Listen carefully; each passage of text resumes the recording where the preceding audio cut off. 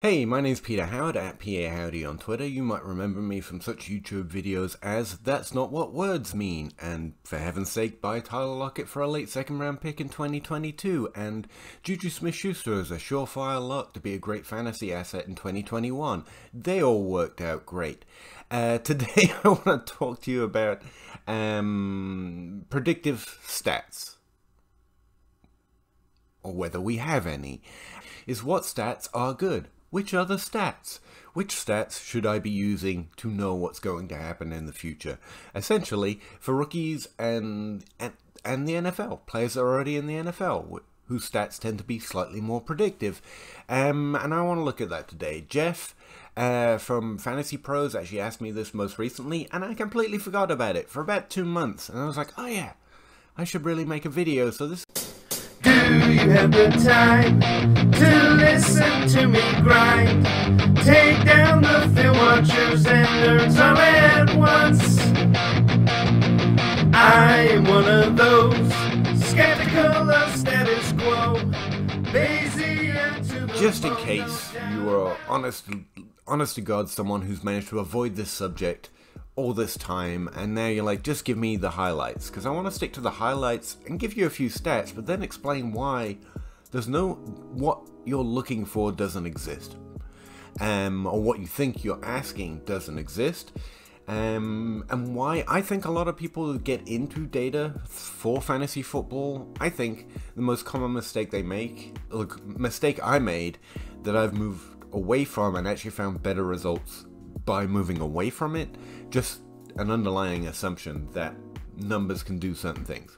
But essentially, most tests, most statistical testing um, is talking about representing numbers on a graph and then calculating um, how much one number is related to another number on that graph. Remember that nice linear line where we can draw nice squares and triangles and stuff on a graph in math class. That's essentially what R squared is doing. It's plotting different things across two, the two different variables you're testing and saying how closely related they are to you. Now there are other things that go into testing such as probability score and some others that I barely understand, but that's essentially what R squared is trying to do. You plot one number against another number, and then it explains how related those two numbers are to each other. Essentially, because it doesn't tell you how much it predicts, so much as how much or how commonly one number will tell you what another number is going to be. So when you test points per game, for example, to points per game the following year, you plot points per game in year n, to points per game in year n plus 1, and an r squared test will tell you how closely related those two numbers are to each other. And we call that predictive. If they're very related to each other, and if they're not, we call it unpredictive. But it's really not predicting. Um, the best word for it is explaining. How much does it explain what happens in the other data set, or in this case, in the following year? Alright, so that's what I'm using as a synonym for predicting, but know that it's not really prediction. It suggests that there is some causation, that there is a good relationship between one stat in one year and another stat in another year, but that relationship can be affected by, you know, life because numbers are just representations of things that happened in life and then you've got you know a family and a job and injuries and just not feeling it that year and real things that affect whether or not that number helps you. They don't represent any particular causation in the real world. They represent an achievement a thing that happened and how often that thing continues to happen within a relatively similar range. But context is always going to play a part um, the other word that's commonly the other word that's commonly commonly used with this is sticky. How sticky are stats? Those are the two things you really need to know about a number, about how to use it or how much to pay attention to it. Now, sticky means how similar is that stat in one year to how to the next year. So, for example, volume stats are fairly sticky. If a player gets, keeping it simple, 20% target share one year, it is fairly likely or fairly common that he gets around 20% target share the following year. Um, whereas if they're catching 11.6 or keep it simple 10 yards per reception, an efficiency stat, it's fairly unlikely that that stat will tell you much about the following year in predictiveness, so it'll score a low R squared test. And as far as stickiness goes, it's actually relatively unlikely that they score very similar to that 10 yards per reception the following year, despite the fact that Tyler Lockett or Tyreek Hill continue to play downfield roles. Their yards per reception and their efficiency stats in that vein are going to be unsticky as well as unpredictive. Four points per game, say. Um, so volume stats tend to be sticky, relatively stable, but we know target share and volume moves up and down every year, which is kind of where the problem starts. Because um, the predictive and the sticky stats still consistently change, relatively a lot actually, um, even for players that have high volume roles consistently throughout their careers. Um, and sticky means the stat itself is likely to be relatively similar the following year. Because remember, you can maintain a 20% target share, and your points per game can be wildly different depending on how effective the score the team is at getting into the red zone, for example. So there's somewhat of a difference. Now, again, um, the most predictive stats are always going to be volume related stats. So, you know, uh, targets per game is going to be better than yards per target because that's an efficiency stat. How many yards were you creating per target? It's how efficient you were at creating yards per opportunity, or per target in this case. Same with yards per carry, which is even worse across the board in all regards. Um, and volume stats, just how many opportunities, how many targets, rushing attempts, passing attempts you are getting, are going to be the more predictive and the more sticky stats from year to year. Alright, so that's that's that stuff. Those are those those are the words I'm going to use. So I thought I'd do a quick that what what do they mean thing. Um.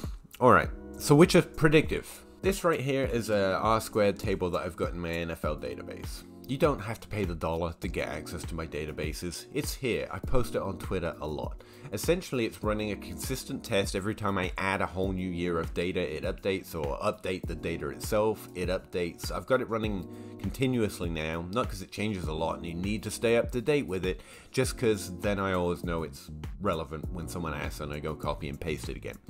Um, across the top here, just to explain a little, a little bit, um, I have minimum volume thresholds for positions. So this is touches and opportunities, so it's not particularly relevant uh, to fantasy, but I wanted to remove everyone who's not touching the ball a significant amount before testing it. So essentially, this is an R squared test for stickiness and predictiveness of the stat itself in sticky and also towards points per game in predictiveness. And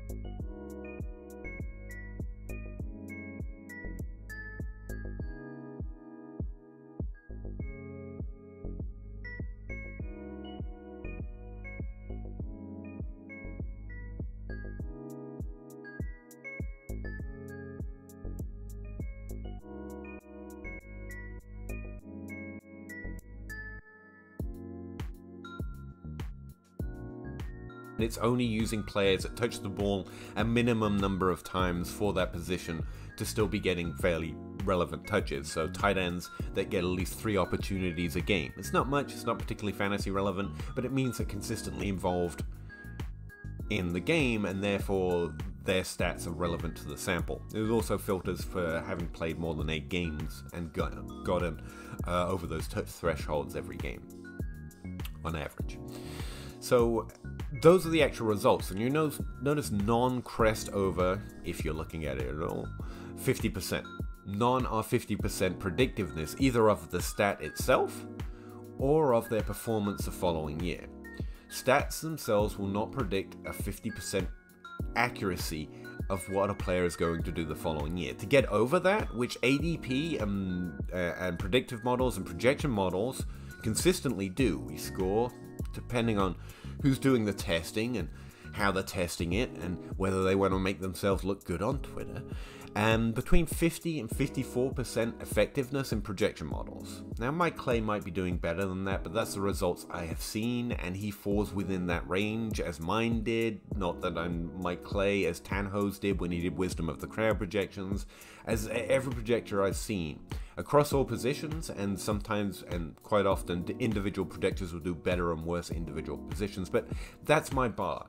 Getting close to 54% accuracy in a projection model, I think is pretty lit. If it's measured fairly and across the board, and you don't play that I've got more you, you you can rig those tests a little bit, and it's not a bad thing because we all need to prove we can do things, but we can rig it. But in reality, in terms of actual fantasy utility, I think a projection model does pretty good to get over 50% because no single stat does. ADP, based on, again, my testing, which can be flawed, and I'm just a fake nerd grinder, I get it. Um, what was I? ADP. ADP gets around 50 52 53% right if you are very generous across all positions. In fact, it does better, at, again, does better at certain positions year over year, especially within certain position rounds. For example, in the top 10 and the top 12 of running back, we tend to do better in ADP than repeat rates do. So we do fairly well in ADP in the top 12 of running backs, whether you're looking at redraft or dynasty. Um, and it's difficult to test between those two. For example, dynasty isn't always trying to project points with its ADP. It's trying to project value, which is why I tend to look at it through that lens, and I find it fairly as accurate as redraft at doing value as redraft does points, but subject for another day. All right.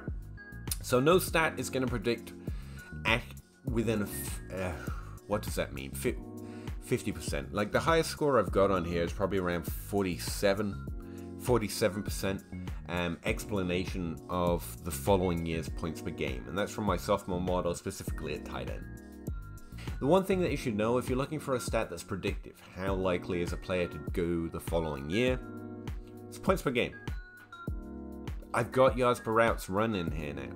I have yards per snap, I've tested a lot. I haven't tested everything, and I certainly haven't tested your favorite data nerd's favorite model or anything like that but I've looked at air yards, I've looked at yards per route run, I've looked at target share per game, and all the stats that I like and have used, and everyone that I can find that I can mention that I can stuff into this history. And, and points per game pretty much beats them, or it's relatively similar. Like I created a model called the sophomore model, and it beats points per game at individual points, specifically looking within certain career years, and at different positions. But I'm not going to tell you it's better than just ranking players for the following year based on their points per game the year before, because honestly, it's as close as exactly the same. It's going to rank different players differently, and I find some value in that, but yeah, neither here nor there. Now, the question my friend Jeff asked me is essentially he understands that basically, but how how to use it. Um, or I think why does it get some wrong is a better way of looking at stats, and that's where we actually learn stuff. For example, points per game kicks ass if you filter for a significant touch threshold, and if you only look at players who played over 8 games, for example. And I'm not saying he's going to fail because he actually performed well in a smaller sample, and that is interesting, especially when you consider Blair Andrews' work. Um, Kadarius Toney in 2021 as a rookie performed excessively well on a per touch, per route, per game kind of a basis, but he didn't play significantly well. He didn't run over 150 routes, which is about bare minimum um, for a rookie in their first year, to be honest with you. Now, there are ways of adjusting for that, but if you adjust it and then project it, essentially you're moving out of the area where points per game or yards per route run or any of this predictiveness testing essentially matters. Because this testing, these stats are only good if you filter out players on a small sample. They have to have played more than 8 games or they have to have touched the ball more than a certain number of times within a certain game. If you reduce that, then one, the predictiveness and the stickiness actually drops. They become less predictive. So, one of the first things we can learn from any stat is if you just cross out anyone who didn't play enough, whether they were efficient or they had volume on a per game basis or not, their stats, the stats of the group actually become more predictive, which should tell you to fade players with small samples. Now, that's all relative to ADP. For example, Kadarius Toney hasn't received a significant bump in his ADP from last year. And I'm not telling anyone not to take their guy or not to take their shot, especially not on Toney or anyone else. But I can tell you the stats tell me, as much as they talk, that players on small samples are more likely, heavily likely, to be traps, especially if even if they were efficient or getting significant volume in a small sample. And by small sample, I simply mean they play less than eight games, or they touch the ball less than, depending on the position, three times a game, five times a game at wide receiver, or nine times a game at running back, or 33 times a game, including the rushing attempts, at quarterback. That's one of the things I honestly think has benefited my understanding of fantasy football or my projections or my rankings or my accuracy of drafting players. It's just knowing that, according to the stats, this um, their predictiveness and stickiness is entirely dependent on literally ignoring anyone who didn't play enough. That's one of the ways we get the signal out of it. So that tells me players who, did well in small samples are more likely to be trapped than anything else. Now, sometimes that's difficult to rectify with what we see or what we feel about a player, but if I can remain neutral on it, I will.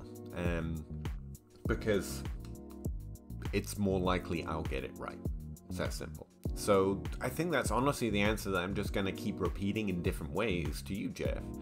It's there are certain stats that are more predictive and more sticky we should be paying attention to. Yards per carry is one you should literally just throw away.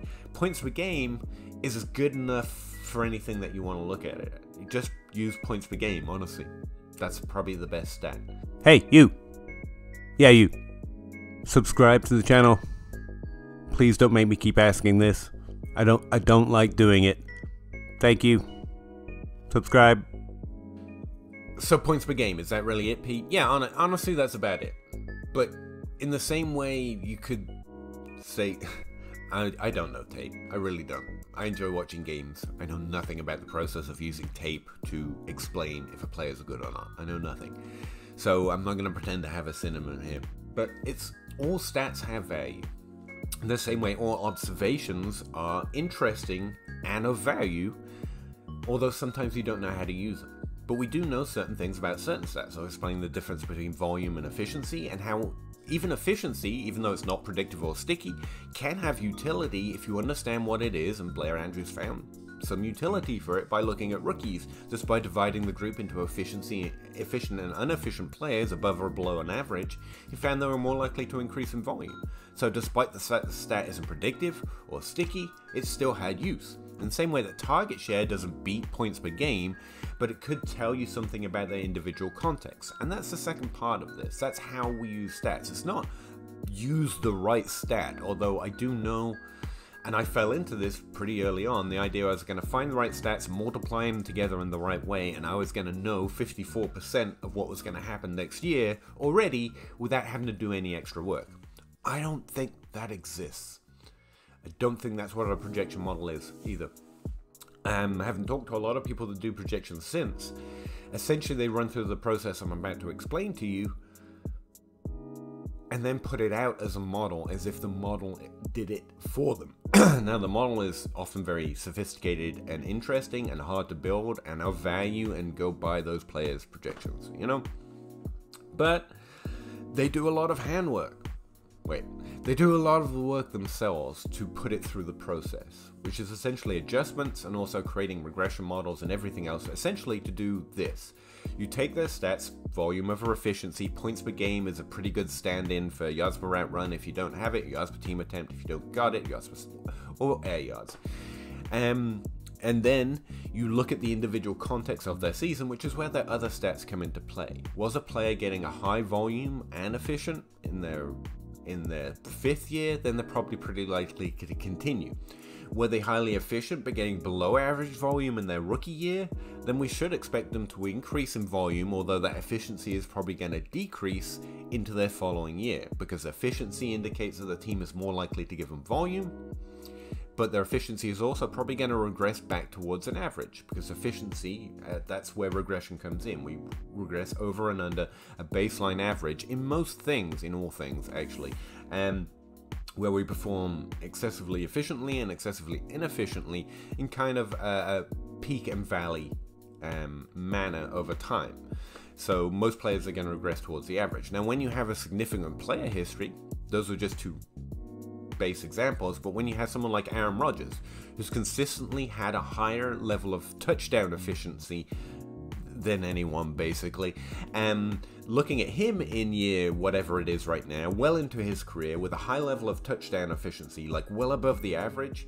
Um, and last year he also performed fairly well on it and was a top scoring QB again. We should expect that efficiency to drop, but not towards the positional average, but towards his personal average, which has consistently been higher than the positional average over time. And so a good projection model will take that into account as well.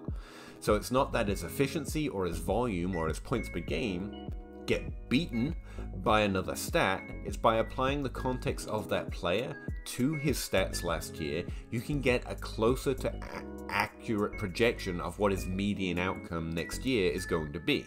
Now, some projection models are going to try and predict uh, ceilings and floors and all sorts of crazy stuff because we got literal PhDs doing this now.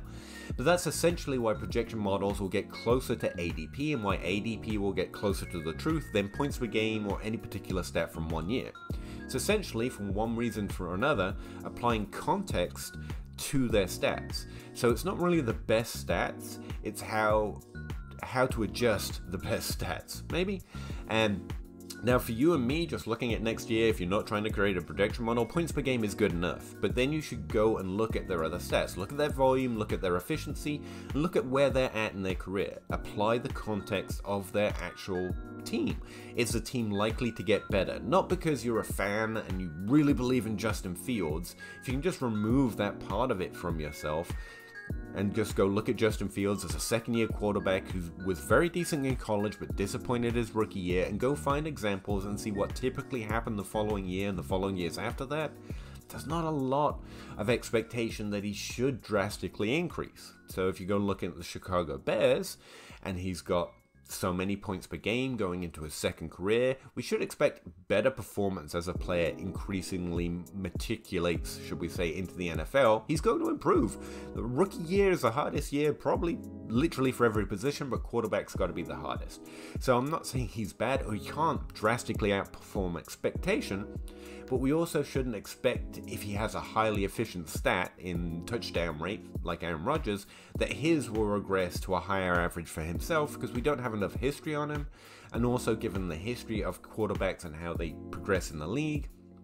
And from my from research I've done, a prediction model that I built would not regress him up from where he was last year significantly, and so it would probably expect him to be likely disappointing based on um, a lot of people's hopes and dreams for him this year, including his, and he could out vastly outperform those. Um, but when we're talking projections and what stats can tell us, they're going to predict us on what is most reasonable based on what has happened before. They're not going to tell you who secretly was good and other people don't realize it. In fact, if players were bad, it's going to project more often than not that they're going to continue to be bad because that's on average what normally happens. Now, you can find some stats where players are surprisingly better, like I was talking about with Kadarius Toney, than their overall points per game, or people might recognize in ADP. But that's not from any one particular stat, that's from reading the context of their stats. What was their volume? What was their efficiency through any stats you particularly like to look at? Whether it's air yards, which is a good one, weighted opportunity rating is probably one of the best stats for applying context of individual seasons. Whether they were getting a lot of valuable air yards and underperforming it might suggest that if they are likely to continue to get that volume, they should outperform their previous year's expectation. But it's not that WOPR therefore always indicates that you are you've got a player who's going to do better next year. What career year are they in? What is the context of their season? Why were they getting so many weighted opportunity air yards? And it's awkward, especially for people who just want a stat. And especially me, I thought I was going to use stats to get me to that 54% without having to do any of that context or narrative type work. It's narrative with safety rails. It's removing the I really want Justin Fields to be good barrier away and letting what has happened most often actually be the guide. Now, after you've done all that, you can also just go screw it. I'm drafting Justin Fields, or I'm, I'm drafting Kadarius Toney above ADP because I saw something that's good, or I'm going to believe in that efficiency.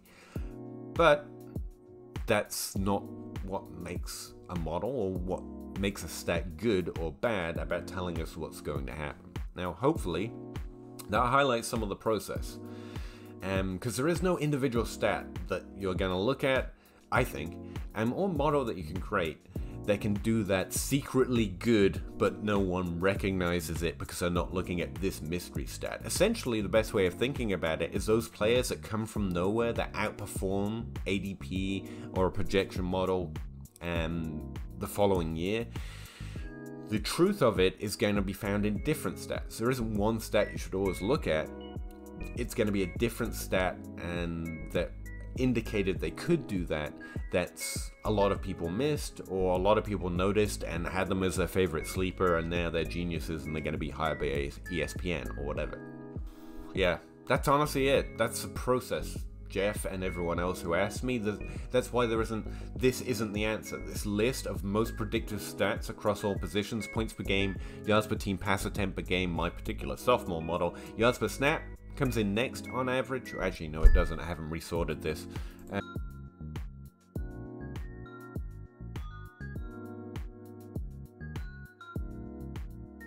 what do I use? That's a good question. It's one I'm actively use, asking of myself right now. I'm creating a projection model, which I'm not going to belabor too much, but I'm looking for a stat to import in to show how different my projection model puts them on their average performance. To essentially say whether my projection model is overly high or overly low. The one I've got imported in right now is yards per team attempt because my sophomore model requires snaps and stuff and I'm, I'm not projecting it, so I can't use it in my projections or calculate it from my projections. But yards per team attempt I can.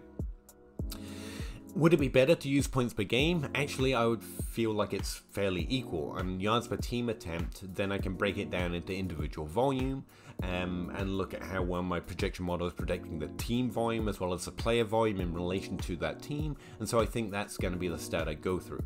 How different is my projection model expecting their performance to be above or below the average?